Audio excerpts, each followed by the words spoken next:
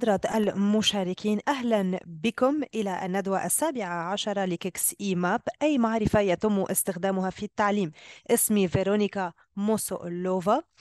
أنا سوف أكون المساعدة التقنية اليوم لهذه الجلسة وقبل أن نبدأ هذه الندوة سوف أقدم لمحة عامة تقنية.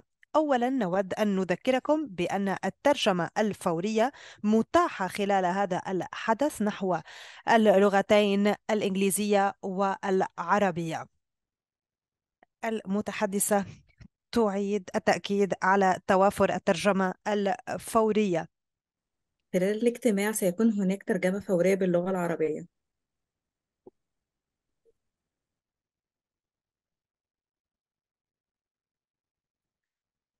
تجدر الإشارة إلى أن جميع آه، الميكروفونات سوف تبقى على الصامت. نطلب منكم أن تحتفظوا بالكاميرا قيد التشغيل إن أمكن للتفاعل أكثر. نحن نسجل هذا الحدث وستكون التسجيلات متاحة للجمهور. أود أن أذكركم أيضا مرة جديدة بأن الترجمة الفورية متوافرة نحو العربية. والروسية. نطلب منكم إعادة تسمية أنفسكم في نافذة المشاركين. النقر على اسمكم. نطلب منكم كتابة اسمكم بالكامل بالإضافة إلى بلدكم والمنظمة التي تمثلونها. نطلب منكم أيضا تعريف عن أنفسكم في صندوق الدردشة. كتابة اسمكم منظمتكم وبلدكم. وفي حال كانت عندكم أي مشاكل نطلب منكم العودة إلى صندوق الدردشة. الإشارة إلى ذلك. سوف تكون هناك عدة جلسات أسئلة وأجوبة خلال هذا الحدث. نطلب منكم طرح كل الأسئلة في صندوق الدردشة. يمكنكم قبل طرح السؤال أن تعرفوا عن أنفسكم وبعدها طرح السؤال. و لا تقلقوا في حال لم نجيب مباشرة على السؤال. نحن نجمع الأسئلة ونطرحها خلال فترة الأسئلة و الأجوبة. يمكنكم طرح السؤال بلغتكم المفضلة فهناك عدد من المترجمين سوف يحرصون على ترجمة أسئلتكم. آه، ندعوكم إلى آه، متابعتنا عبر فيسبوك يوتيوب تويتر وعبر هاشتاج KIX EMAP و GPE KIX. وبالإشارة إلى ذلك أود أن أدعو آه، بروفيسور جيتا آه، شنايدر حمصي. و آه، هي كبيرة المستشارين في معهد جنيف للدراسات للتعريف عن هذا الحدث. جيتا الكلمة لك. شكرا جزيلا فيرونيكا. إنه فعلا لشرف لي أن أرحب آه، آه، بكم باسم KIX EMAP باسم آه، إذا KIX EMAP وهو المركز لتبادل المعرفة والابتكار في أوروبا الشرقية والشرق الأوسط وشمال أفريقيا وآسيا والمحيط الهادئ. غيرنا الاسم للتو وسعنا و NORRAG شبكة NORRAG كما تعرفون KIX EMAP آه، هي موجودة في NORRAG و NORRAG مبادرة أطلقتها الشراكة العالمية من أجل التعليم و IDRC ومنذ البداية NORRAG و KIX لهما مهمة مشتركة وهي إنتاج وتعزيز و أيضا نشر المعرفة في بلدان الجنوب.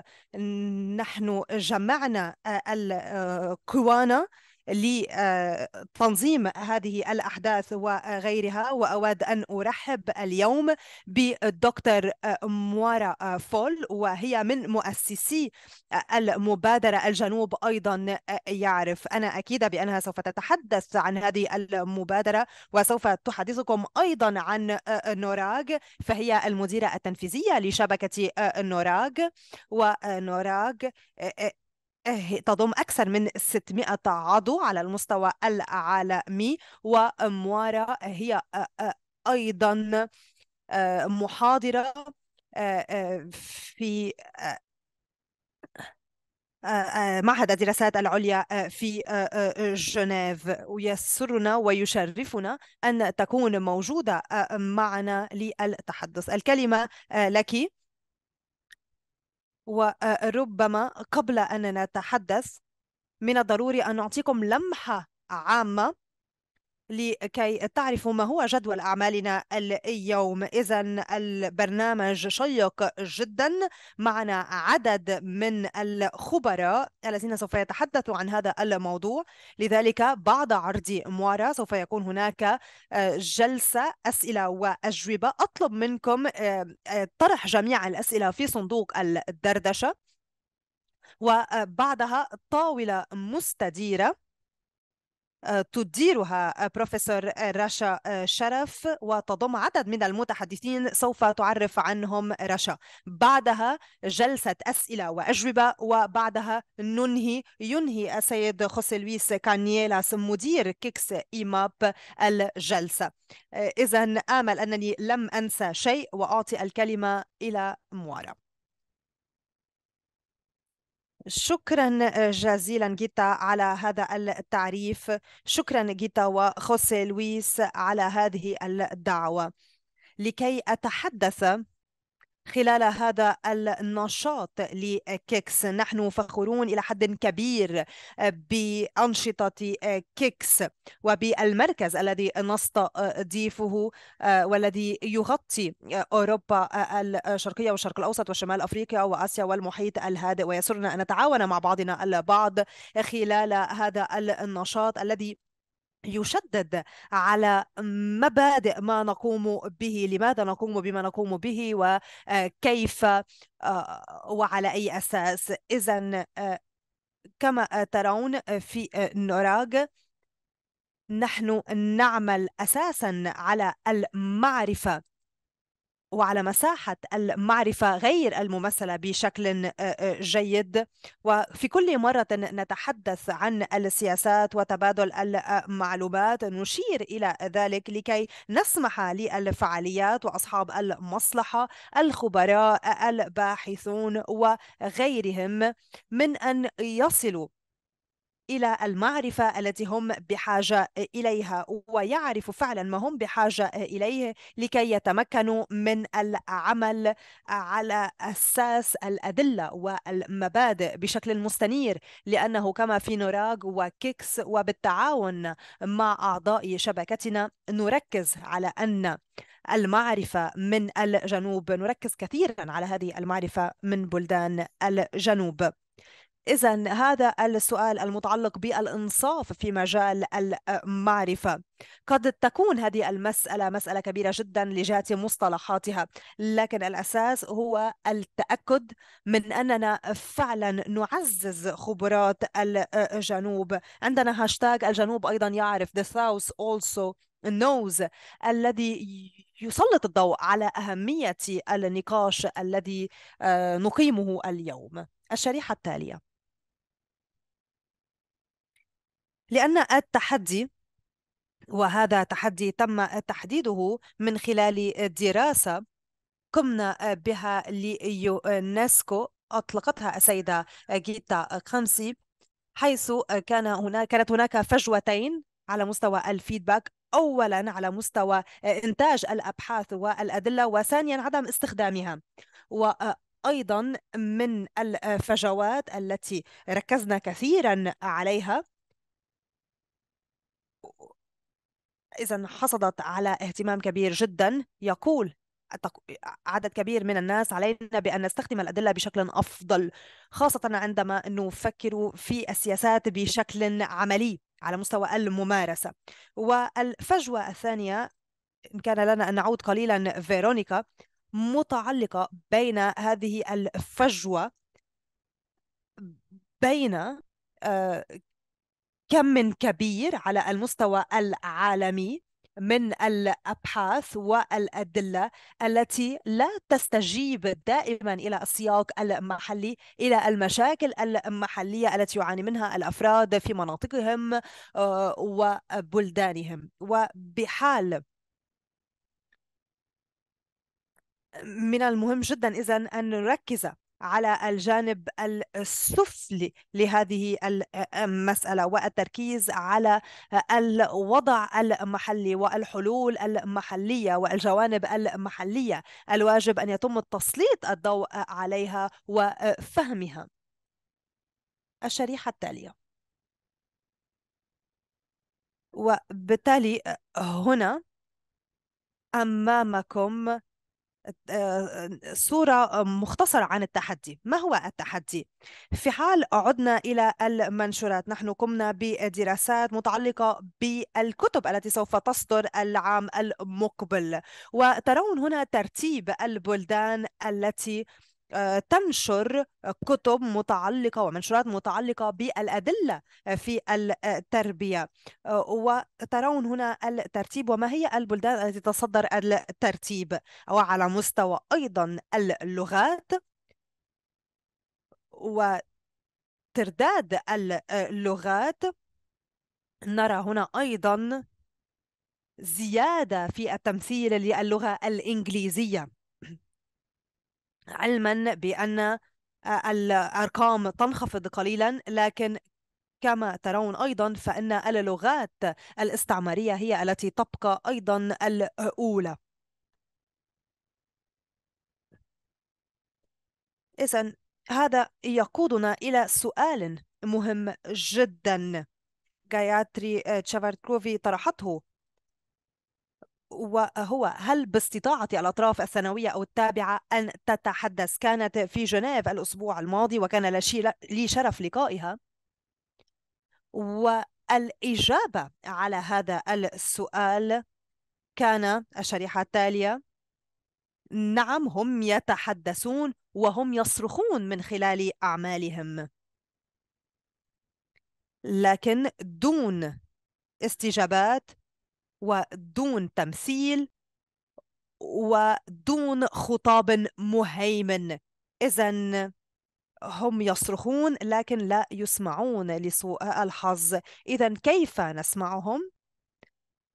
نسمعهم من خلال الإصغاء إليهم وهذا هو أساس مبادرة الإنصاف في التعليم وهذا هو أيضا جوهر مبادرة الجنوب أيضا يعرف أي الإشارة إلى أننا أيضا نعرف إلى أن هناك خبرات في الجنوب ومن يقول العكس هو على خطأ وما باستطاعتنا القيام به على مستوى مشاريعنا على مستوى مؤسساتنا لكي ندعم فعلا هؤلاء الأفراد فيصغى إليهم. إذا هذا هو الهدف من مبادرتنا وما نقوم به أيضا في عملنا. الشريحة التالية. إذا مبادرة الجنوب أيضا يعرف تستند إلى هذا المبدأ وهو بأن التعاون على مستوى الأبحاث وأي تعاون آخر بين الجنوب والشمال تعيقه علاقات غير متكافئة وذلك يرقى إلى عوامل تاريخية لا تزال موجودة حتى يومنا هذا.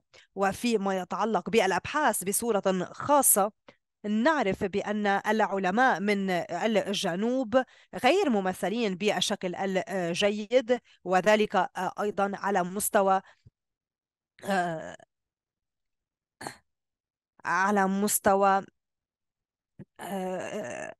تسليط الضوء عليهم في النقاشات وفي المقالات. إذا لا نرى أن هناك أي تمثيل فعال آه، للعلماء من الجنوب وفي الجنوب. بحد ذلك هناك إنتاج لأبحاث على المستوى المحلي وهي آه، تتكيف مع السياق لكن يتم التغاضي عنها لصالح أدلة تنتجها بلدان ذات دخل مرتفع في الشمال. إذا ما الذي نريد أن نغيره على هذا المستوى؟ أولا النظر إلى المقاعد حول الطاولة. إذا من موجود على الطاولة؟ عندما يكون هناك نقاش حول السياسات أو الحديث عن قواعد البيانات التي تستخدم لإنتاج وثائق السياسات وتقديم التوصيات على مستوى الممارسات إذا السؤال هل الجنوب ممثل آه، هنا؟ ومثلا هل الباحثين الممارسين الخبراء من باكستان. هل مثلا هل هم فعلا ممثلون على الطاولة؟ ونذهب أيضا أبعد من التمثيل. لكي نتحدث عن مختلف أنواع الخبرات التي تقدم على الطاولة. إذا الأساس هو أن لا يكون فقط هناك شخص من باكستان أو تكافؤ في التمثيل الجندري بل أيضا من المهم جدا أن نشير إلى ما يقدمه هؤلاء نحن لا نعتبر بأنه في حال مثلا كان شخص من باكستان. إذا لا أعرف لماذا أنا أستمر في استخدام مثال باكستان أي هو مخول أو عنده الخبرات. إذا دائما علينا أن نفكر في الخبرات التي تقدم على الطاولة. وأيضا بأن نسلط الضوء بأن نؤتي بهذه الخبرات غير الممثلة على الطاولة بأن تكون على الطاولة خبراء في مجال الشؤون المالية والشؤون الإنسانية وغيرها. إذا أن تكون هناك عملية لكي تصبح القرارات قرارات مستنيرة. بالإضافة إلى ذلك نتحدث عن إعادة استحداث الطاولة. إذا لا نتحدث فقط عن الأفراد تقسيمهم على الطاولة بل نتحدث بشكل أساسي عن من هم الأفراد الممثلين المبادئ التي هي أساس هذه النقاشات هل هذه النقاشات تعقد في ظروف تسمح للجميع بالمشاركة؟ ليس فقط أن تأتي إلى القاعة وأن لا تتحدث أن تكون غير راضي عن المجريات. إذا ما الواجب القيام به لفعلا إنجاح ذلك؟ ما هي نتائج النقاشات و لكي آه، نعرف مثلا ما هي النتائج الأساسية التي يمكننا الاستناد آه، إليها وأيضا ما هي المعرفة حول كيف تعمل هذه الطاولة ودعم الآخرين فعلا في عملهم لكي يتمكنوا هم أيضا من استحداث طاولاتهم المستديرة.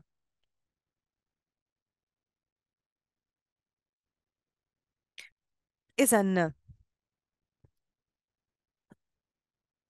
كيكس والنوراغ تعملان على الإنصاف في المعرفة. أولا إحقاقا للعدالة حيث نقول بأن السبب هنا هو أن هناك تفاوتات معاصرة وتاريخية من الواجب إيجاد حل لها.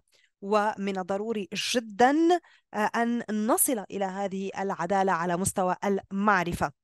وثانيا قيمة المعرفة التي تقدم لأن المحتوى والدروس سوف تكون أكثر إفادة ومناسبة وذلك في الشمال والجنوب. ولذلك كيكس إيماب وضعت برامج للتعليم بين الأنداد والتعلم من بين الأنداد حيث تعمل يعمل الأعضاء مع أفراد من مختلف من بلدان مختلفة. ربما عندهم الوظائف نفسها مهتمون في المواضيع نفسها لأننا نريد فعلا أن نكون منخرطين في هذا النقاش أيضا مع الشمال لكي نتمكن أيضا من نقل المعرفة إلى الشمال. عوض أن نبقى دائما في موقع تلقف المعرفة والحصول على المعرفة. نريد أن نصدر معرفة جيدة ومفيدة إلى الشمال أيضا. وأيضا من خلال مثال. فإن تمكنا من القيام بذلك سوف نشجع الآخرين على عدم القول بأن المهمة صعبة جدا ولا يمكننا القيام بها لا يمكننا إنجازها لأنه فعلا يمكن إنجازها. ومن خلال العمل مع الخبراء يرى الآخرون الخبرات التي يقدمها هؤلاء وسوف أعطيكم مثال من سبتمبر الماضي حيث عقدنا قمة متعلقة بالتفاوتات على مستوى التعليم وخاصة على ضوء الذكاء الاصطناعي وقدوم الذكاء الاصطناعي. قد يخيل لكم أن هذا الموضوع آه، هو موضوع مرتبط بالشمال لكن عقدنا جلستي نقاش آه، وكان هناك ممثلون عن بلدان ليست موجودة في آه، آه، الأمريكا في أمريكا الشمالية وبلدان أوروبا. ومجموعة أخرى إذا كانت مؤلفة فقط من النساء. إذا ذلك يسلط الضوء على كيفية إيجاد الأفراد المناسبين لكي يقدموا الخبرة والتجربة المناسبة ونعمل معهم. الشريحة التالية.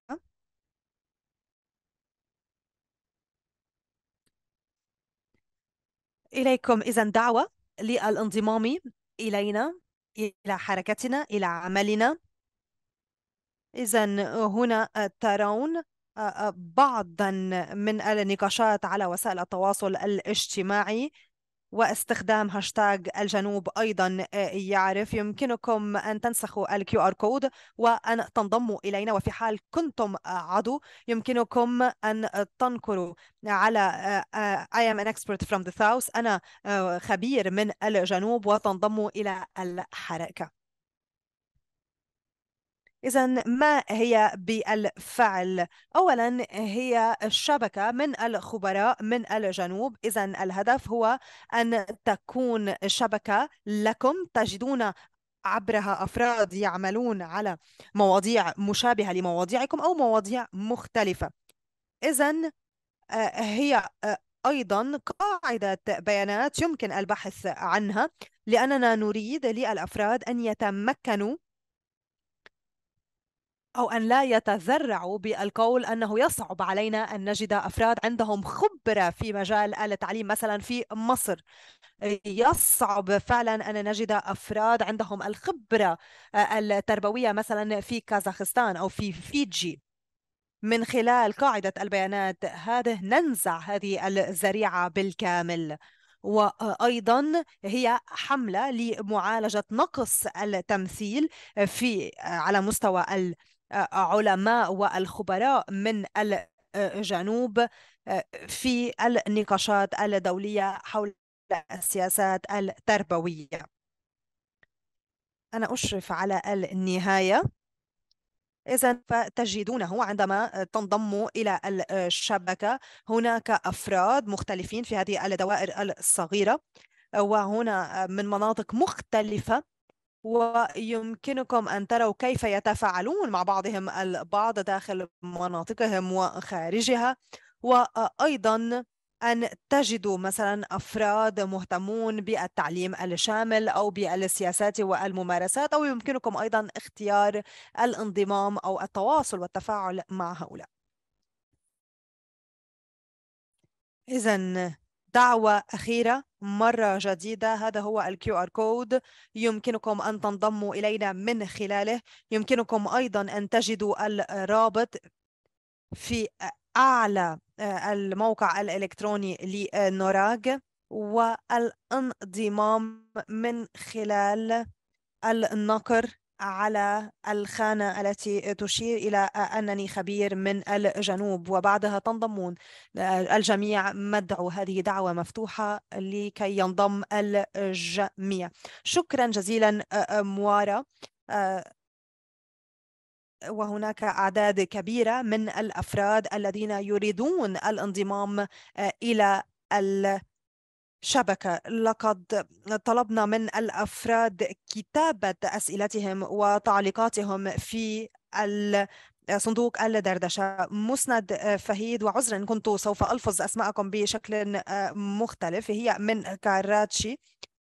إذا السؤال مرتبط بالربط بين اللغة لغة التعليم والتعليم وأيضا على المستوى الدولي أين هي مساحة الأردو إذا هل لك أن تعلقي سريعا على هذا الموضوع؟ نعم إذا في النقاشات حول السياسات العالمية هناك دائما تمثيل للغات الأمم المتحدة بالإضافة إلى البرتغالية وذلك بسبب المصالح التاريخية وهذه اللغات لا تزال قوية لأنها مرتبطة بحقبة الاستعمار. وبالتالي حتى لو كنت تت... هناك افتراض بأنه حتى لو تتحدث الأردو تتحدث أيضا الإنجليزية. أو أيضا آه، الفرنسية في حال كنت من بلد أفريقي. آه، إذا المشكلة هي بأن هذه اللغات لم تؤخذ بعد على محمل الجد بما فيه الكفاية ونحن في آه، وما قاله برنامج كيكس هو أنه من المهم جدا أن تكون دائما الترجمة الفورية متاحة لكي نتمكن فعلا من إيصال الرسالة. والقيام بكل ما علينا القيام به على مستوى اللغات. شكرا للمترجمين لوجودهم اليوم. لكن علينا أن نكون صارحين فهذا مكلف إلى حد كبير. لكن لسوء الحظ لا يمكننا أن أن نؤمن كل اللغات التي نريدها. ولذلك نحن بحاجة إلى حلول منهجية حلول ضرورية لكي نتمكن.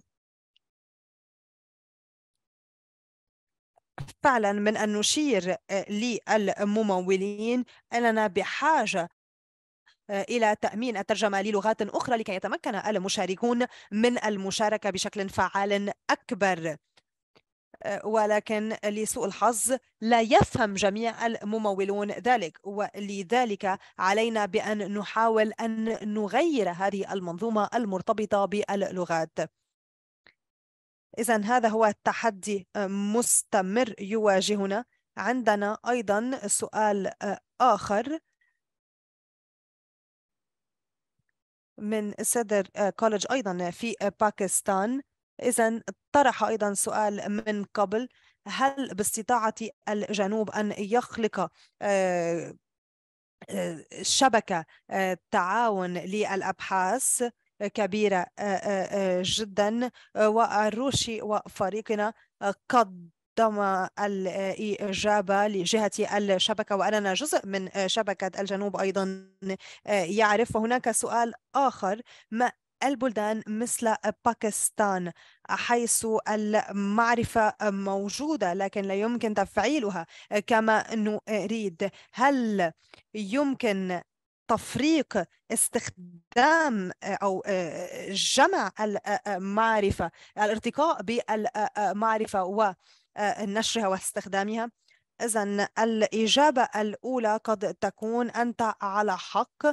آه، المحتوى واقع المحتوى يحد من الفرص بشكل كبير جدا على المستوى الجسدي المشاعري العقلي وغيرها. أي إمكانية الوصول إلى المعرفة أو إنتاج المعرفة وأخذ ذلك على محمل الجد.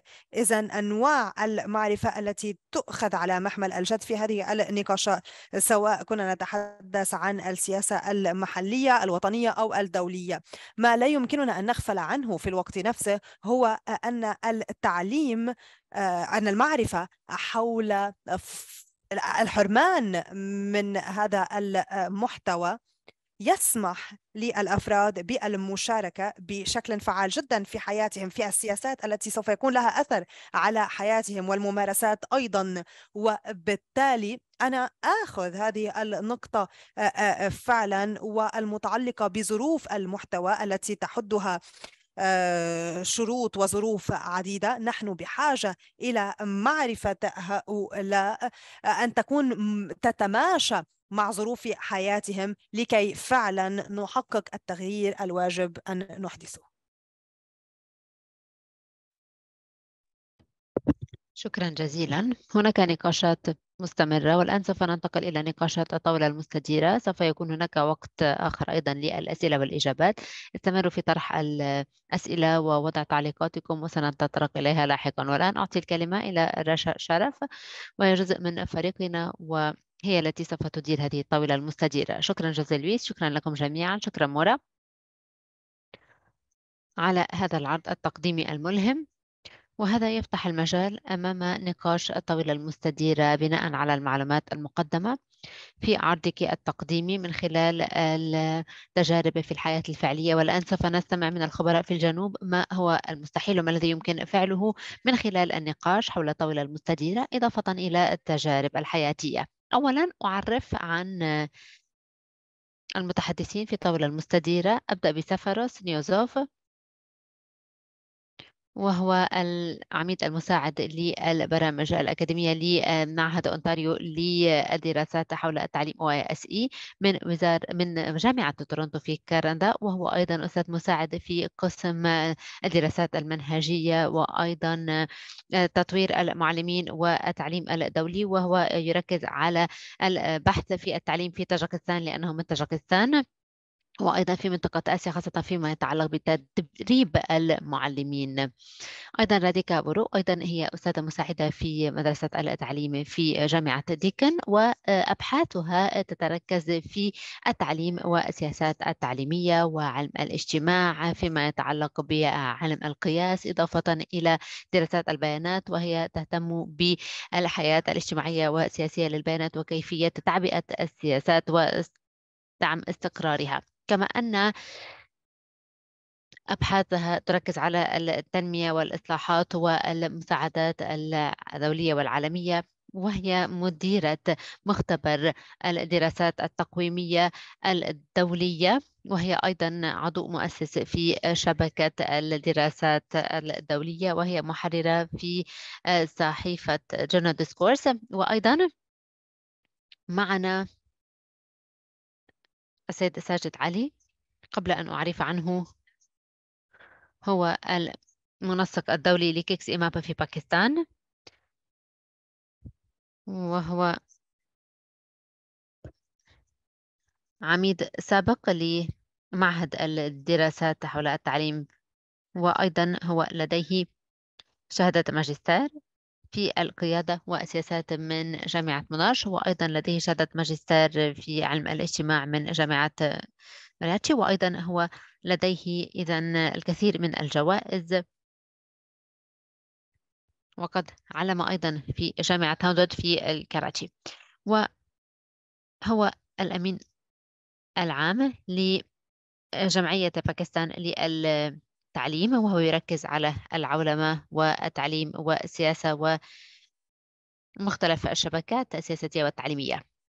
وأخيرا لدينا جانكويكا اليو وهو هي تمثل الحكومات في طاولتنا اليوم وهي مديرة قسم السياسات في وزارة التعليم والشباب والرياضة في كمبوديا. وقد حصلت على شهادة PhD من جامعة فلندرز في أستراليا كدورها أو في دورها كمديرة وهي تدير الكثير من الأبحاث وتحول الأبحاث إلى سياسات تعليمية متينة. وهذا يهمنا في نقاشنا في طاولة المستديرة وقد قادت بشكل ناجح صياغة مختلف السياسات لتعزيز جودة التعليم في كمبوديا وهي منخرطة في تحويل الأنظمة التعليمية في كمبوديا. وحاليا هي تقود مسار التنمية لاستراتيجية التعليم الرقمي للمدارس لبناء التكنولوجيات المستقبلية آه، التعليمية في كمبوديا. أود أن أرحب بكم لهذه آه، الطاولة المستديرة. ونبدأ الآن.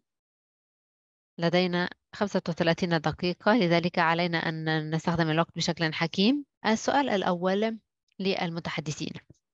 لماذا هل أن الإنصاف في المعرفة هو مهم؟ وكيف يساهم ذلك في الإنصاف في مجال التعليم؟ أبدأ بسفرس من فضلك أعطنا معلوماتك بهذا الشأن. الكلمة لك. شكرا جزيلا رشا على تقديمي. أنا كنت عميدا مساعدا ولكن الآن أنا فقط أستاذ مساعد الآن. إذا بالانتقال إلى سؤالك شكرا جزيلا. على تناولك الكلام في هذا المنتدى. شكرا مرة أيضا لتمهيد الطريق لنا. أود أن أبني على ما قلته لما الإنصاف في مجال المعارف هو مهم؟ في الواقع هو السؤال لديه جانبان أولا المغزى القيمة النوع والنفاذ إلى المعارف. لطالما كانت المعرفة أو المعارف تعد على أنها سلع آه، تلفية ومهمة جدا. لدينا الكثير من الأمثلة من آسيا الوسطى وجنوب آسيا حيث أن من لديه معرفة هو دوما في مكانة أعلى مما ليس لديه معرفة. إذا السؤال هو ما نوع المعرفة ومن عليه أن يتمتع بالمعرفة ومن لديه نفاذ إلى المعرفة؟ الأهم هو أن المعرفة أصبحت أكثر أهمية بينما تقدمنا في القرون لأننا حاليا نعيش فيما نسميه بمجتمع المعرفة أو اقتصاد المعرفة حيث أن النفاذ إلى المعرفة وإلى نوع المعرفة المقدم هو أمر أساسي للتقدم وللتنمية ولجودة ونوعية الحياة ولنجاح مختلف المجتمعات على كل المستويات وخاصة لكرامة المجتمعات إذا كيف يرتبط ذلك بالتعليم؟ في الواقع هذا يرتبط بالتعليم بمعنى أن التعليم يمثل مؤسسة حيث أنه يتم فلترة هذه المعرفة وهذه المعرفة في الواقع آه، يقرر فيها أي نوع من المعرفة يجب نقلها من ينفذ إلى المعرفة ما مقدار المعرفة ما وجهات النظر التي على الأشخاص أن يتحلوا بها للحصول على هذه المعرفة. وبهذه الطريقة فإن المدارس لطالما كانت أماكن لإعادة إنتاج انعدام المساواة بفعل نوع معين من المعارف التي تعطى للأشخاص وأيضا يعتمد الأمر على نوع المدارس. بينما نتحدث اليوم فإن انتشار الخصخصة وانتشار مختلف أنواع المدارس قد أدى إلى أنواع مختلفة من المدارس المقدمة لمختلف أنواع الأفراد. وبهذه الطريقة نحن نخلق انعدام إنصاف ومساواة على مستوى مختلف اللغات وعلى مستوى مختلف الطبقات وعلى مستوى مختلف الأوساط الحضرية وال ريفية والجندرية وعلى مستوى مختلف الأبعاد في المجتمع حول من لديه نفاذ ومن ليس لديه نفاذ إلى التعليم. فإذا أيضا لدينا مسألة العدالة لأنه حتى الآن وعلى الأقل للأعوام المئة والمئة وخمسين الأخيرة فإن المعارف التي انتشرت في المدارس التي تركزت بشكل خاص على القرون الأوروبية ومع تهميش لباقي الحضارات. وإنما باختصار هي أنه ما من عدالة بدون المعرفة الإنصافية. شكرا جزيلا. شكرا جزيلا سفرس لقد احترمت الوقت والآن أنتقل إلى راديكا. ما رد فعلك على ذلك راديكا من فضلك. هو موضوع كبير للغاية يسرني أن سفروز قد مهد الطريق لهذا الموضوع؟ وتطرق إلى الكثير من المسائل وهذا يترك لي مهمة سهلة. أود أن أبدأ بإحداث مقارنة معينة وأقول أنه عندما نرى كيف أن الغابات تدمر بآلاف الهكتارات وكيف أن الكثير من الفصائل تلغى في هذا المسار و تنقرض وكيف وكيف أن آه، الحيوانات والنباتات آه، واختفاؤها يمكن أن تؤدي إلى السرطان والأمراض القاتلة. فإذا خسارة التنوع الأحيائي وخسارة هذه الغابات هي خسارات كبرى للغاية وهي تضرب العالم بشكل قاس جدا. ويمكننا أن نفكر هنا بخسارة السكان الأصليين والمعرفة بهذا الشأن بطريقة عينها. نرى الدمار وتهميش وقمع بعض طرق المعرفة وهذا يعني أننا نخسر النفاذ إلى لآلئ بإمكانها أن تخرجنا من هذه الدهاليز التي أصبحنا فيها. لذلك أود أن أغير النقاش بدون أن نرى هذا الإنصاف المعرفي على أنه مجرد مسألة تتعلق بالنظر إلى الأمور فقط من حيث السكان الأصليين والمجتمعات المهمشة والجنوب العالمي. أعتقد أنها خسارة للعالم أجمع.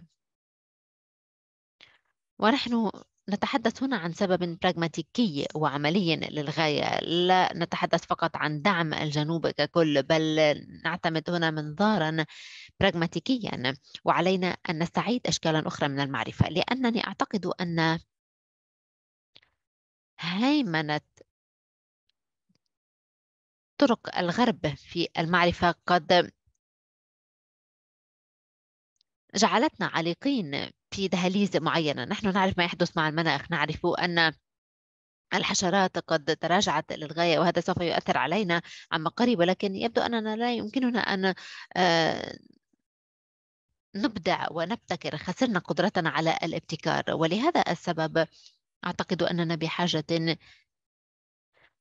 إلى الإنصاف في المجال المعرفي. نحن بحاجة إلى كل هذه المعارف. هذه مسألة أساسية لنبقى على قيد الحياة.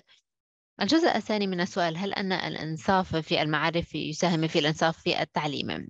سوف أتحدث بعض الشيء عن المعادلة الحالية التي تحكم التعليم من خلال الكثير من الإحصائيات والأرقام والحلول التكنولوجية المشكلة بالنسبة إلى التعليم والحلول في التعليم كلها تعود إلى معايير محددة حول العالم وبطريقة أو بأخرى بعض هذه المعايير قد نجح لأن التسجيل في المدارس قد ارتفع وأيضا التكافؤ بين الجنسين ارتفع وأيضا أصبح هناك معدلات عالية من التحصيل المدرسي وكل هذه المسائل ذات قيمة. ولكن هناك أوجه انعدام إنصاف أيضا تحدثت عنها السيدة في افتتاحها لهذه الجلسة.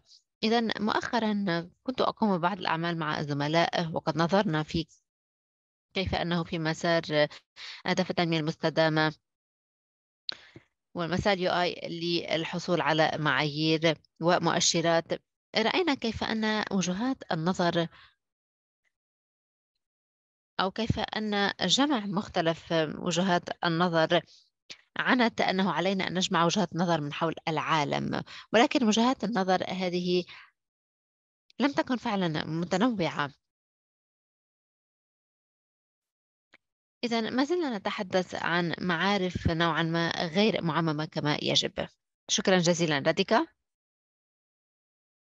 أحببت فعلا المقارنة التي قمت بها. ننتقل إلى كوليكا. من وجهة نظر الحكومة هل برأيك أن الإنصاف في المعارف سوف يساهم في الإنصاف في التعليم؟ شكرا على دعوتي لهذه الجلسة. أنا أقدر فعلا هذه الدعوة. بالنسبة إلي الأستاذ والأستاذة قد أعطيا إجابة مهمة جدا حول أهمية الإنصاف في المعارف. وأعتقد أنكم توافقون جميعا على أن الإنصاف في المعارف هو مهم. ولكن أود أن أركز على بعض الأفكار من كمبوديا.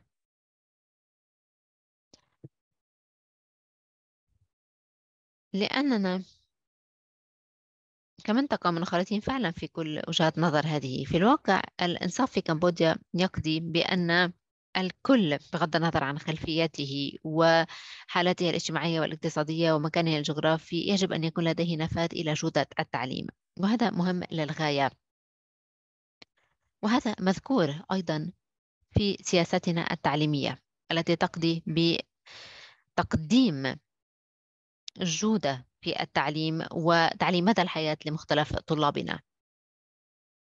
ولكن في كمبوديا كما تعرفون نحن نواجه نقصا في الموارد الاقتصادية وفقرا وضعفا في البنى التحتية وهذا يساهم في التفاوتات التعليمية. لذلك نحن بحاجة إلى أن نعزز الإنصاف المعرفي لكي نتمكن من الإسهام في الإنصاف التعليمي. نركز على بعض المجالات التي آه، يعد فيها الإنصاف المعرفي مهما. أولا الأبحاث وصنع السياسات. في الواقع حاليا في كمبوديا نحن نعزز هذه الأبحاث وصنع السياسات. مثلا في القسم الذي أعمل به نحن نقوم بالكثير من الأبحاث قبل أن نحولها إلى سياسات لأن الأبحاث بإمكانها أيضا أن تساعدنا على أن نفهم مختلف الأسباب الجذرية والكامنة ويمكنها أن تساعد في صنع السياسات. وفي قسمي نحن نطور أو نطبق أبحاثا حول تفاوتات التعليم بين الذكور والإناث. نحاول أن نفهم ما هي الأسباب الكامنة وراء التفاوتات بين الصبيان والفتيات في التعليم. وهذا يساعدنا في أن نحدد الاستراتيجيات والطرق التي تمكننا من أن نحسن محصلات التعليم للذكور بشكل خاص. ونحن نستخدم أيضا السياسات التعليمية الشاملة حيث أننا آه، نلجأ إلى هذه السياسات بشكل فاعل. ونبني على مختلف التجارب التعليمية والخلفيات المختلفة في التعليم. لكي نتمكن من أن نعزز جودة التعليم. ويمكن للإنصاف المعرفي أن يحدث أيضا على المستوى المالي. إذا الإنصاف المعارفي. يمكن أن يتأتى من مختلف المصادر من مختلف إذا المصادر. فإذا من المصدر المالي علينا أيضا أن نستقي الإنصاف المعارفي ويجب أن يكون هناك توزيع عادل للموارد. إذا لذلك في كمبوديا حاولنا أن نخلق معايير محددة للمدارس حتى نتمكن من أن نقدم الموارد لها.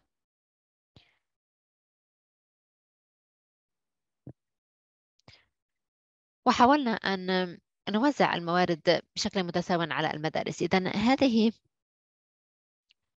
بعض أوجه أهمية الإنصاف المعارفي للمساهمة في الإنصاف التعليمي في كمبوديا. شكرا جزيلا. أرى فعلا كيف أنك أعطيت أمثلة مهمة جدا من النظام التعليمي في كمبوديا وكيف أن الإنصاف المعارفي يمكن أن يساهم في الإنصاف التعليمي. ننتقل إلى السؤال التالي نظرا إلى المدخلات الجيدة التي أعطيتموها. والسؤال الثاني هو ما هي أوجه انعدام المساواة والإنصاف في المعارف من جانب الأبحاث والسياسات؟ ووجهات النظر أن أبدأ بساجد لأنني قرأت مقالتك حول يونسكو أو في يونسكو GEM blog وهي حول الفتيات في المناطق الريفية. إذا ساجد تفضل. شكرا جزيلا.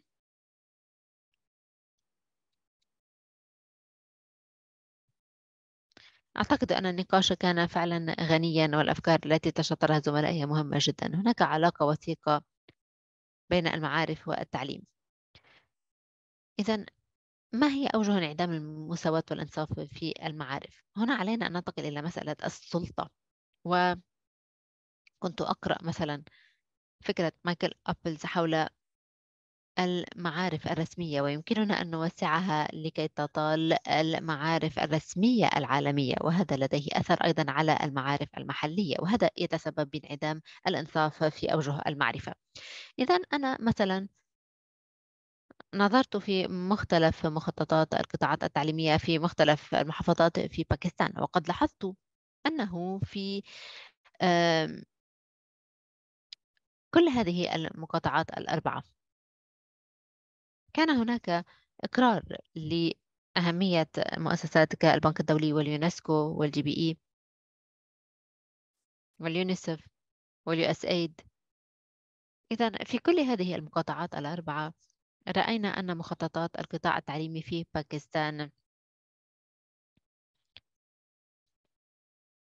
يبدو أن خطتان قد تم تطويرهما بدعم مالي من الهبة من GPE وأن هذه الهبات جعلت خبرات اليونسكو ويونيسف متاحة للحكومة في المقاطعة. وهنا وأنا كنت قد شاركت في بعض عمليات التشاور. في الوصول إلى المخططات التعليمية في القطاع التعليمي. في الواقع ما الذي حدث لهذه المخططات؟ في الواقع كان هناك مستشارون وهؤلاء المستشارين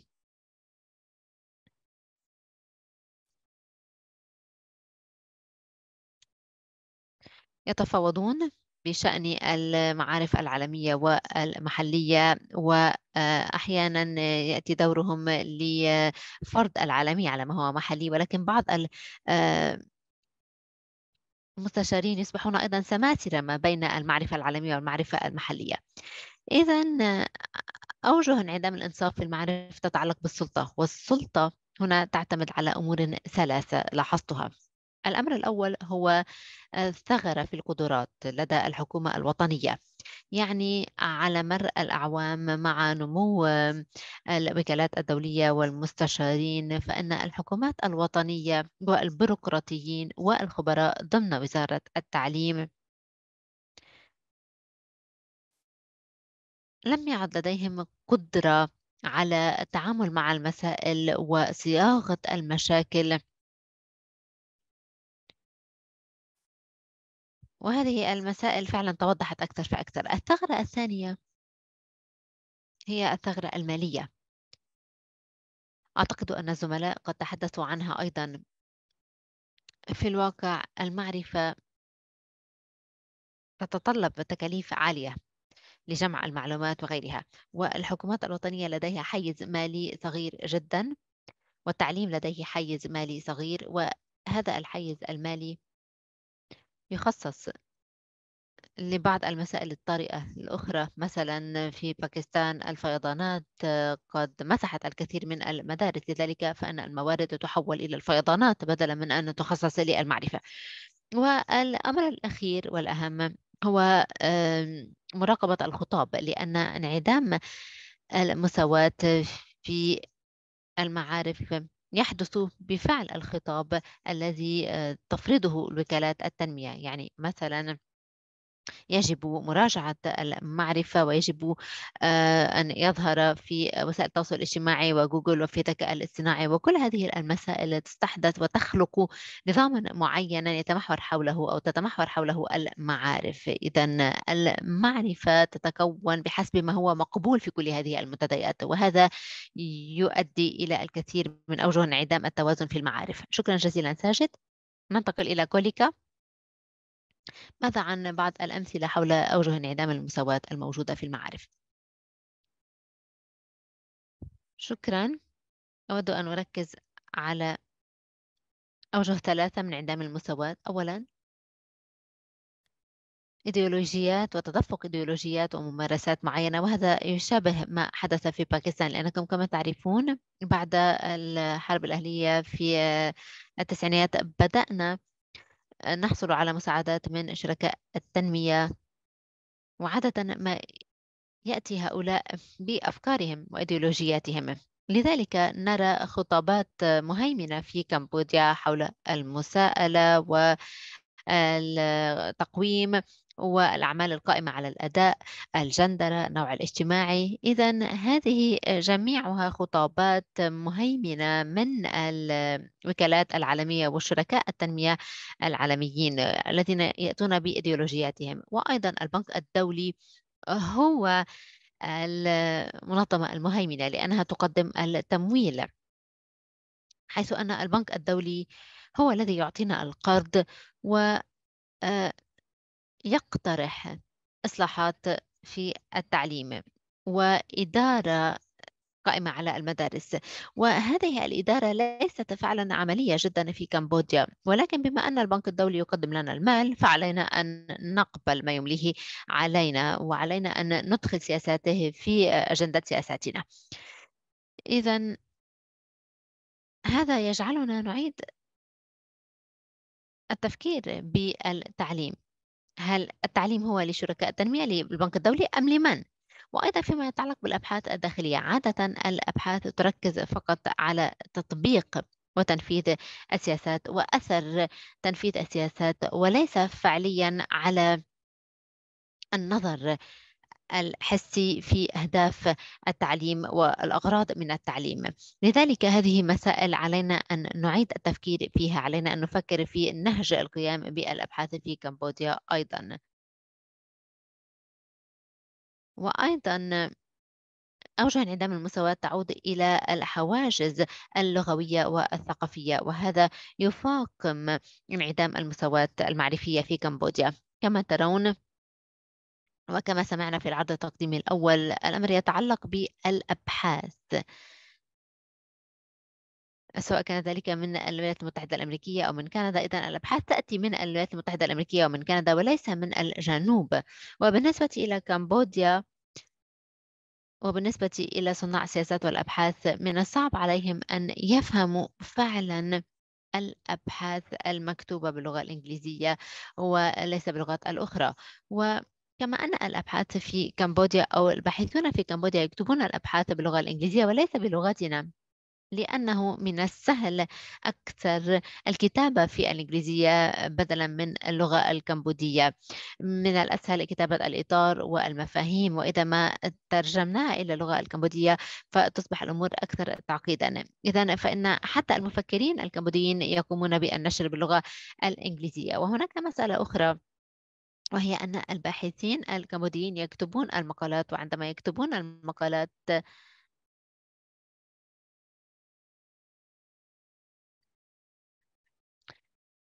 آه، ربما أحيانا لا يتم قراءة مقالاتهم في حين أن المقالة نفسها التي يكتبها آه، خبراء غربيون تقرأ. فإذا هناك تفاوتات معينة وهذه مسائل علينا أن نعمل عليها بفعالية. نحن بحاجة أيضا أن نفكر بمختلف الفروقات الثقافية وأيضا مختلف العوامل وهذا أمر لا يؤخذ بعين الاعتبار في الأبحاث وفي صياغة السياسات وفي تنفيذها. لذلك عندما أتى الوزير بدأ بتعبئة وحشد الأبحاث المحلية لمساعدتنا. ولذلك الآن نحن لا أو نحن نحاول أن نبتكر أمورا أكثر محلية ونخلق مدارس حديثة وهذا ما حاولنا أن نتعلمه من الأجندة العالمية وأن نطبقه على سياقنا المحلي. لأننا الآن بدأنا بأن نعمل مع الباحثين المحليين والاختصاصيين التعليميين المحليين. لذلك أصبح بإمكاننا أن نطور هذه السياسات.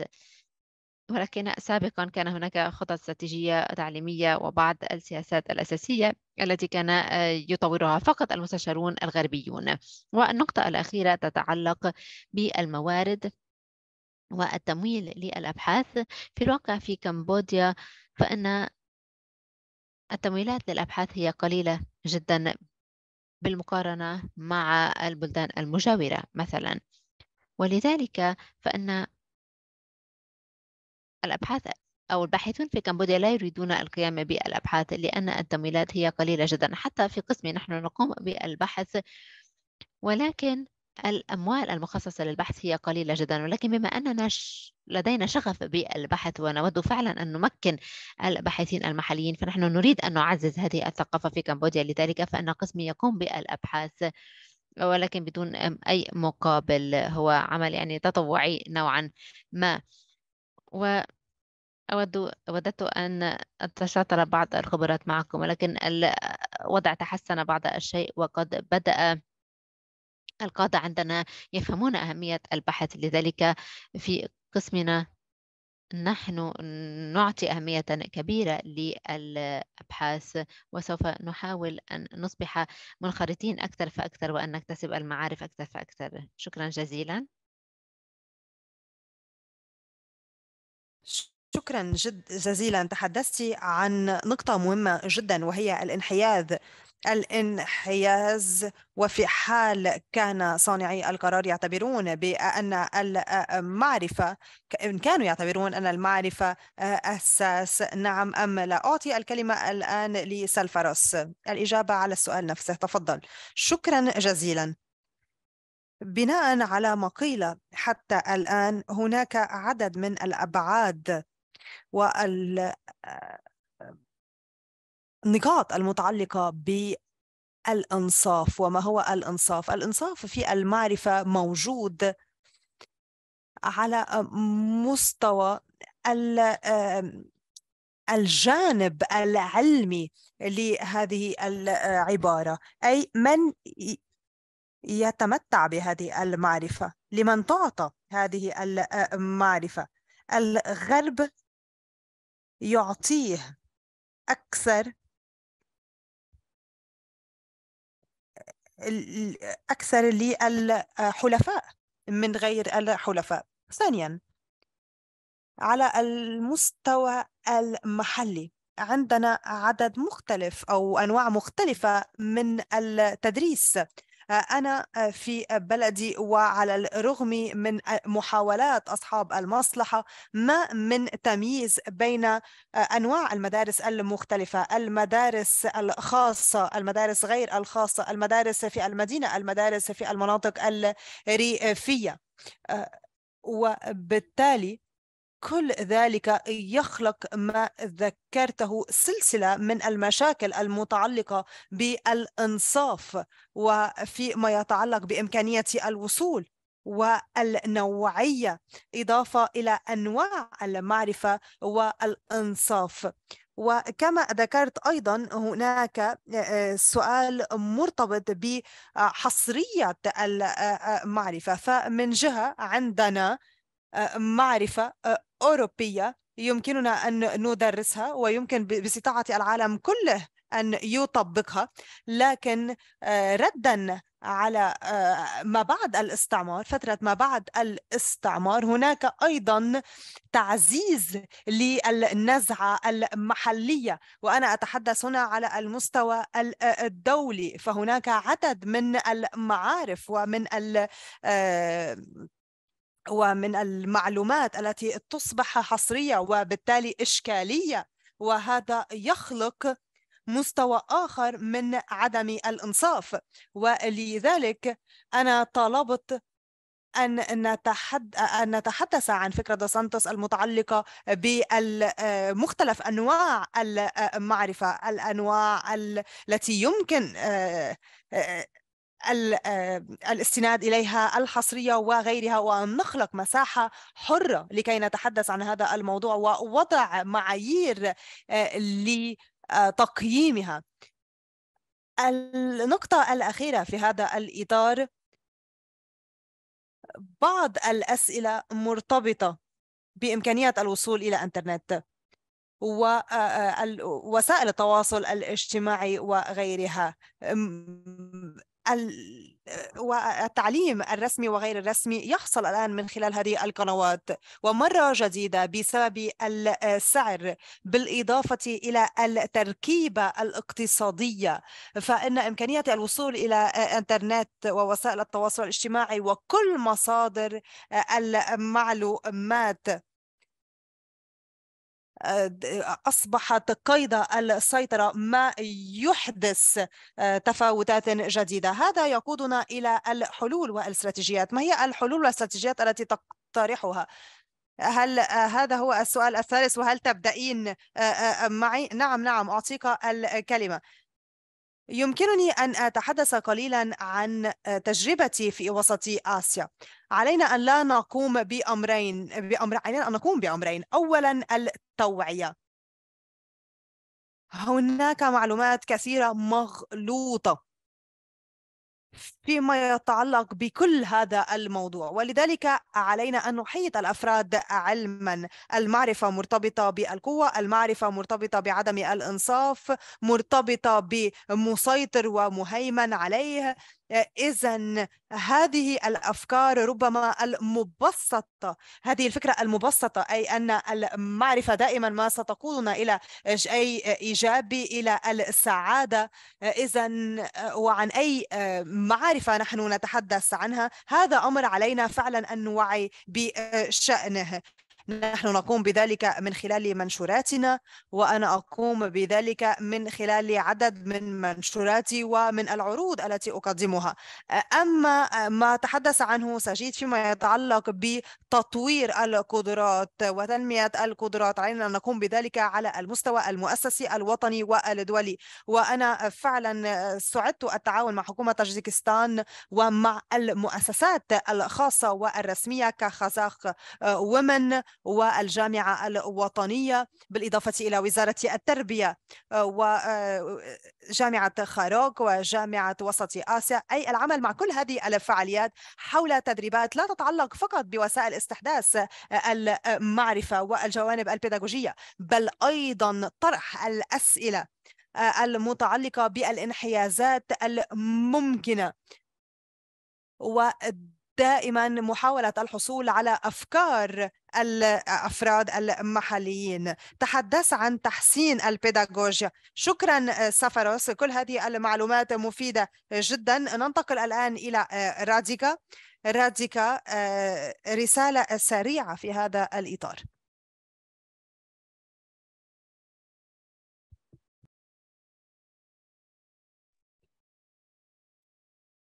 شكرا جزيلا. إذا سفروز تحدث عن أمور كثيرة وهذا كنت ما لأقوله بنفسي. وأنا أوافق بأن المعرفة ليست ثابتة وهي ليست ملك أحد بل هي ملك مجموعات تعطيها شرعية. وهي آه، آه، جماعة تعطي إذا شرعية لهذه المعلومات وجمهور يقبل هذه المعرفة. إذا هي غير ثابتة آه، تستند إلى المصادر وعدم مشاركتها يعني بأنها سوف تموت. وبالتالي عندما نتحدث أو نطرح السؤال أي لمن تعود هذه المعرفة أعتقد بأن هذا سؤال فارغ أمام كل التحديات التي نواجهها. فالهدف هو أن نأتي بأفراد جدد بأفكار وأفراد جدد. وعدم استثناء الأفراد من إمكانية الوصول إلى المعرفة. وأنا أعتقد أنه علينا أن نتوخى الحذر الشديد في ما يريده الجنوب ما يحتاج إليه الجنوب. وعدم اعتبار فترة ما قبل الاستعمار فترة ذهبية. وأعتقد أنه علينا أن نفكر في طموحاتنا فيما نريد أن نحققه. و وفعلا أن نتحدث عن هذه الفكرة وهي بأن إمكانية الوصول إلى معرفة الغرب تسمح للأفراد بأن يكونوا أكثر أكثر قوة وأكثر سلطة. ودائما توخي الحذر لدى فعلا آه، تحديد ما هي المراحل الجيدة من هذه من هذا المسار. تحديد إطار للمعرفة إطار عمل للمعرفة أيضا مهم جدا لكي نتمكن من أن نفهم آه، كيف نضع المفاهيم خاصة المفاهيم المتعلقة بطموحاتنا في الجنوب. هناك ما يتحدث عن آه، فترة ما بعد الاستعمار في أفريقيا. وهذا مرتبط بالأمل الجديد المتعلق بابتكار هذه الشعوب وعدم وضعها دائما في القالب الاستعماري. وأنا أمضيت فترة طويلة جدا أنتقد الذكاء الاصطناعي لكن البيانات والذكاء الاصطناعي وهذه التكنولوجيا المشتركة قد تفسح المجال لإمكانيات كثيرة. لا أعرف الكثير عن هذا الموضوع لكنني كنت أقرأ عن البنية التحتية للبيانات في الهند. والموارد الإلكترونية آه، تعتبر متاحة للجمهور ويمكن الوصول إليها آه، بالإضافة إلى تركيبة آه، البنية التحتية الهندسية التعليمية. تسمح هذه البنية لأفراد من مؤسسات مختلفة التعاون والقيام بعمل مثير للاهتمام.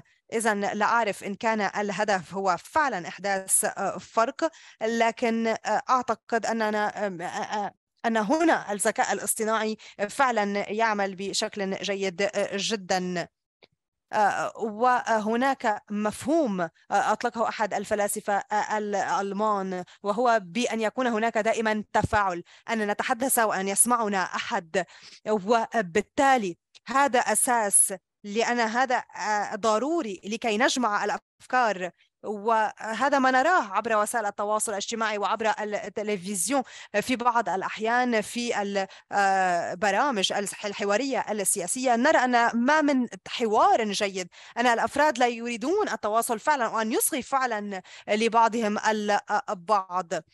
إذا الأساس هو أن تستحدث هذه الأدوات التكنولوجية الجديدة فسحة للمزيد من التبادل. ونحن بحاجة لهذه البنى لهذه التركيبات لكي فعلا آه، نحدد المسؤوليات للوصول إلى تبادل مسؤول آه، للمعرفة والابتكار والتعلم. شكرا جزيلا آه، راديكا.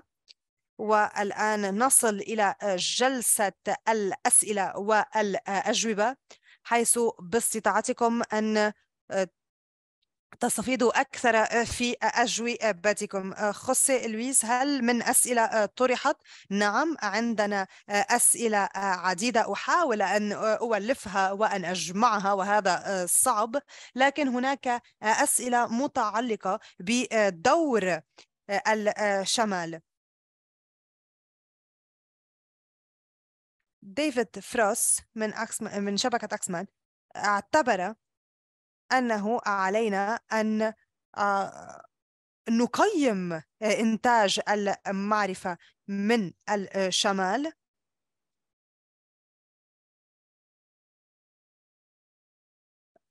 خاصة وأن في بعض الأحيان ذلك يحبط من عزيمة آه، الآخرين لأنهم يستبعدون يستبعدون لأنهم لا يعرفون لعب هذه اللعبة الأكاديمية.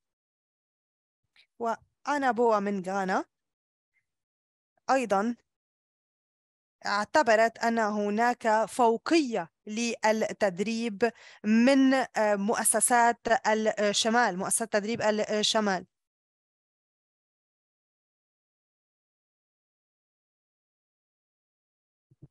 بالإضافة إلى التمويل آه، الذي آه، يأتي من الشمال وهو موجه نحو الشمال.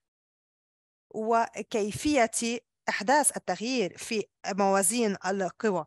إذا يمكننا أن نبدأ بالإجابة إلى هذه السلسلة من الأسئلة وبعدها ننتقل إلى مجموعة أخرى من أسئلة أخرى مرتبطة بموضوع آخر. إذا إجابات سريعة من قبل المتحدثين. سجيد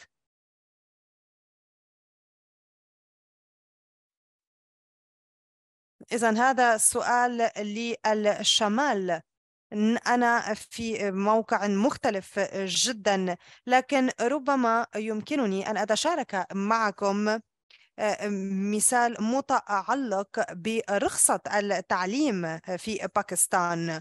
وهو ما استحدثناه أخيرا أشارككم الرابط لكي تتمكنوا من معرفة المزيد. ما نحتاج إليه هو حوار بين علماء الشمال وعلماء الجنوب. وفي حال نقرتم على الرابط يمكن أن نرى كيف أنه باستطاعتنا فعلا أن نحدث مساواة على مستوى المعرفة.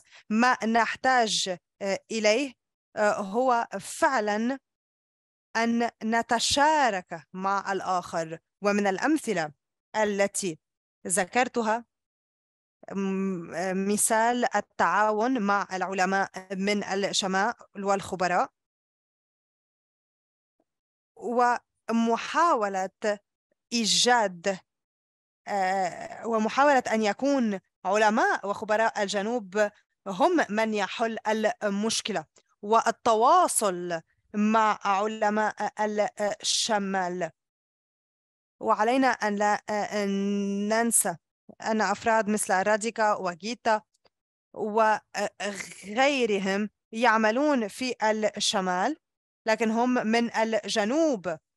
وبالتالي فإن الشمال غير متجانس كما نحن يخيل إلينا وبالتالي فإن هذا الحوار سوف يكون مهم جدا ومفيد جدا. إذا هذه هي فكرتي. يمكننا أن نتعلم لعب اللعبة الأكاديمية لكن يجب أن تكون هذه اللعبة مستندة إلى تقديم الحلول والمعلومات. إذا سوف أضع مرة جديدة الرابط في صندوق الدردشة. شكرا ساجد. كوليكا هل أجبت أيضا على السؤال من وجهة نظرك كممثلة عن الحكومة؟ شكرا. أعتقد أنه علينا أن نغير منحى النقاش. كشركاء تنمية يحاولون أن يحددوا سياستنا التعليمية وأحيانا علينا أن ننظر إلى قدرة الأشخاص في الجنوب العالمي لأنه أحيانا لا يمكننا أو لا يمكنهم أن يأتوا بالمعرفة المحلية إلى السياسات التعليمية. ولكن في المعرفة المحلية مثلا فيما يتعلق بالخطاب الجندري في الواقع في كمبوديا لدينا مدونة سلوك للنساء. وهناك الكثير من المعارف التي تأتي من مدونة السلوك هذه. ولكن بما أن المانحين يحاولون أن يأتوا بالمنظار الغربي والخطاب الغربي إلى كمبوديا لهذا فإن خطابنا أو هذا الخطاب لا يكون مماثلا للخطاب المحلي وعادة ما يكون الأثر هو أنه لا يمكننا أن نعالج التفاوتات الجندرية في كمبوديا. لذلك علينا أن نعيد التفكير بالخطاب المستخدم في هذه الحالة وعلينا أن نعيد الإتيان بمعارفنا المحلية إلى السياسات التعليمية. هذا ما وددت أن أتشاطره معكم. شكرا كوليكا. ربما جوزي لويس لديك أي أسئلة إضافية؟ هناك سؤالان إضافيان. السؤال الثاني هو يتعلق بتهميش بعض طرق المعارف كما قالت راديكا في مداخلاتها الأولى. لدينا ندى كنز أيضا من لبنان. تذكر مثال المعارف المهمة ل أو من خلال الكتب الأكاديمية ومن خلال كتب الثانوية وغيرها إضافة إلى النصوص. التي تتعلق بالثقافات الغربية وغيرها. أيضا كلاوديا من بوليفيا تحدثت عن صعوبة الإتيان بالمعارف التقليدية إلى العالم الأكاديمي وإلى حيزات أخرى حيث أن التعليم هو مؤسس وهذا تحد نواجهه. كيف لنا أن نتخطى ذلك؟ أعتقد أنه لدينا طريقتان للتفكير بهذه المسألة. أولا نفكر بأنه يجب أن يكون هناك جهود تبذل وهناك وضع أيضا فيه جهات رابحة. هناك الكثير من الجنوب في الشمال والكثير من الشمال في الجنوب. كيف يمكننا أن نجعل من هذه حالات فعلا تطغى فيها المعارف يعني كيف يمكن مأسسة المعارف بشكل أكبر وكيف يمكن إدخالها في الحياة الأكاديمية وفي الحياة السياسية؟ يعني علينا أن نفكر بمختلف الحلول في هذا المجال. هل هناك من ردود فعل أو أسئلة؟ راديكا هل تودين أن تتدخلي في هذه المرحلة؟ أعتقد أن ما حدث في الواقع مجددا مع التكنولوجيا. أنا أعرف أن هناك ربما عدم أو هناك تحيز وهناك أيضا إمكانيات كبيرة للترجمة. أصبحت الترجمة أسهل بكثير الآن مع الذكاء الاصطناعي. لذلك فإن فكرة أن الأمر يتطلب ربما كتبا مدرسية. آه، وإتاحة مواد عالية الجودة بلغة قابلة للنفاذ. هي مسألة أيضا حساسة ويجب إعادة التأطير ضمن سياقات محلية وهذا يجب أن يكون أسهل بكثير من السابق. عندما كنت طفلة وحتى في وقت لاحق ما كان يحدث هو أن الأشخاص كانوا يشحنون الكتب المدرسية إلى الجنوب من خلال الهبات. والآن ما عاد آه، علينا أن نقوم بذلك لأن العالم الرقمي الرقمي بالأحرى أصبح طاغيا الآن. بالطبع هذا ليس متاحا للجميع ليس للجميع نفاذ إلى الموارد الرقمية. لذلك فإن انعدام المساواة هذا سوف يستمر حتى وإن انخفض في وقت لاحق. كنت أفكر أيضا بمسائل على المستوى العالمي. يسمى بذلك الائتلاف العالمي للتعليم.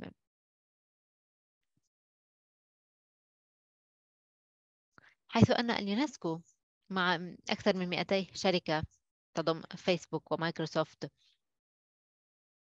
وهواوي والكثير من الشركات هي جميعها تقود الإصلاحات التعليمية حول العالم وأرى ذلك فعلا استثنائيا. ربما مع هذه القوة العالمية يمكننا أن أو بالأحرى مع وجود يعني هذه القوى العالمية كيف لنا أن نناضل من أجل معارف أكثر إنصافا وكيف لنا ألا نمسح بوجود هذه القوى العالمية؟ هذا فعلا يبهرني حيث أنه قد تم ابتكار ما يسمى بالتعاون في مجال التحويل الرقمي وهناك آه، إرادة بدعوة مختلف المناطق في الجنوب لأن تصبح رقمية مع وجود آه، ابتكارات وهيكليات مبتكرة وموارد مهيكلة. إذا أعتقد أن بعض هذه المسائل هي مقلقة عندما نفكر فيها. لا أدري ما إذا كان سوف يتم التمكن من استخدام الموارد للقيام بأمور أخرى لا أعرف. ولكن لا أعتقد أن هذا الأمر سهل.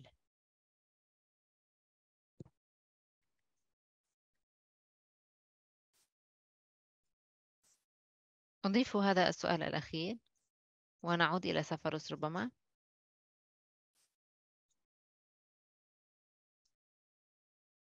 وهذا ربما يعود بنا إلى مقالات راديكا إذا أنت كانت تسأل ما إذا كان الذكاء الاصطناعي.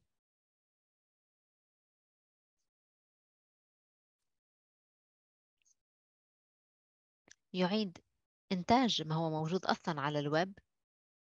وهي معارف أصلا من الشمال. أم ما إذا كان الذكاء الاصطناعي.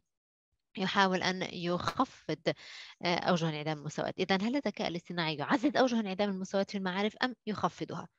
فإذا هل لديكم أي إجابات يمكنكم إعطاؤها؟ نبدأ بسفروس ربما شكرا جزيلا جوزي لويس اسمح لي أن أجيب بشكل سريع على السؤال السابق فيما يتعلق بما علينا فعله بشأن وجهات النظر المحلية وإلى ما هنالك أنا أوافق على أن هناك الكثير من المصادر والكثير من الأعمال التي تحدث حول العالم وما نحتاج إليه هي نقاشات مهمة ومفتوحة. لذلك فإن السياق هو مهم للغاية للمستشارين الدوليين حتى يفهموا سياق المحليين وحتى يتمكن المحليون من فهم السياق الدولي. ويجب أن يكون هناك نقاشات باستخدام الكثير من المعايير المختلفة ليس فقط المعايير الأكاديمية وإنما أيضا معايير أخرى لنحكم حول نوع التعليم الذي يجب اعتماده. هذا أولا. وفيما يتعلق بالذكاء الاصطناعي أعتقد أنها مسألة جديدة بالنسبة إلينا جميعا ولكن يمكننا أن ننظر إليها بطريقتين.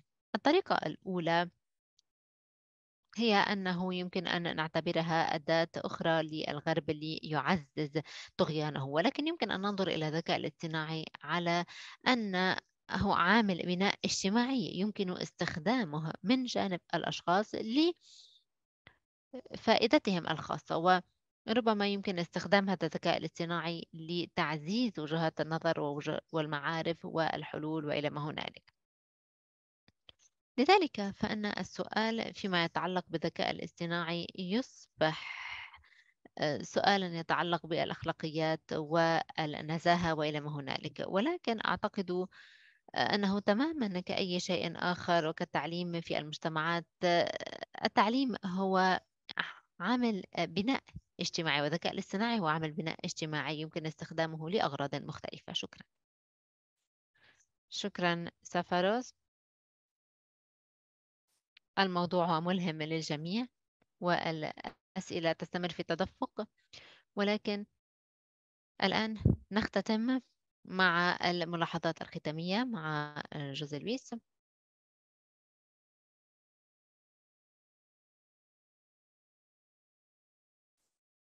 ومع مورا شكرا جزيلا وشكرا على هذا النقاش الغني بين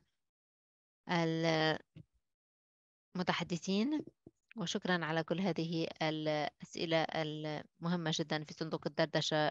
شكرا رشا أيضا على تيسيرك هذه الجلسة. نوراج كما قلت تفخر في استضافة هذه المبادرة ولدينا أيضا عمل آخر قد يهمكم ولكن يمكنكم أن تجدوه على موقعنا الإلكتروني.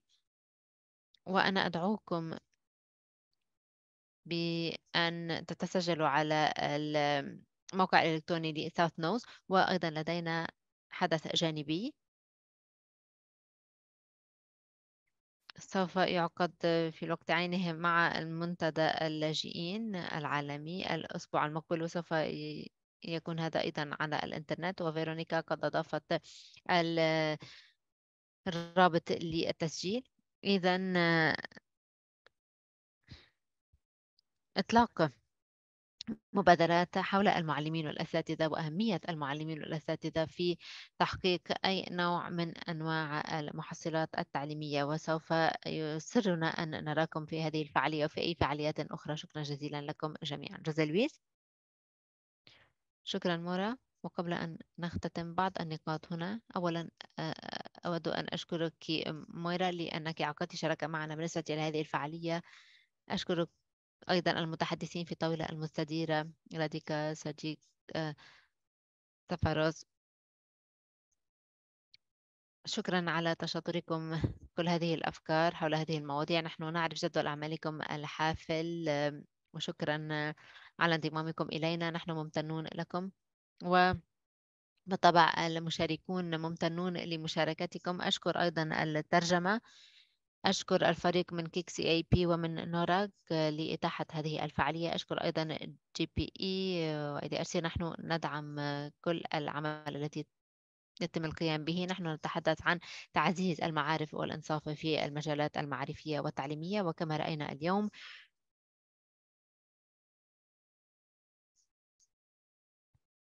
للتوصل إلى الإنصاف في المعارف أو في التعليم يجب علينا أن نعزز الإنصاف والمساواة في المعارف وفي الممارسات التعليمية. سوف نستمر في استخدام الإثباتات البحثية للتخطيط والأسبوع المقبل في الثالث عشر من ديسمبر عند الساعة الثانية عشر بتوقيت جنيف. سوف يكون لدينا النسخة الثانية من ورشة عملنا التي سوف تركز على كتابة المنح والهبات لهذا النوع من المشاريع وسوف يكون أو ستكون ورشة عمل لمدة ساعتين. يقودها فريقنا لبناء المعارف وبناء المهارات وتشاطر الخبرات والتجارب حول كيفية كتابة وصياغة طلبات ناجحة للبحوث التطبيقية. نذكركم أيضا بأن GPE KIX لديهما مادتين تعليميتين حول التعلم المبكر والتعليم والمهلة النهائية هي بحلول الخامس عشر من يناير. وسوف ترون كل التفاصيل في الموقع الإلكتروني إضافة إلى النداءات فيما يتعلق بالأبحاث ل KIX سوف نتشاطرها في صندوق الدردشة نود أيضا أن أسمع رأيكم بشأن الحلقة البحثية هذه ما الذي نجح فيها وما الذي لم ينجح؟ تشاطروا أفكاركم معنا في صندوق الدردشة شكرا جزيلا نتطلع إلى أن نراكم مع قريب. شكرا جزيلا لكم إلى اللقاء.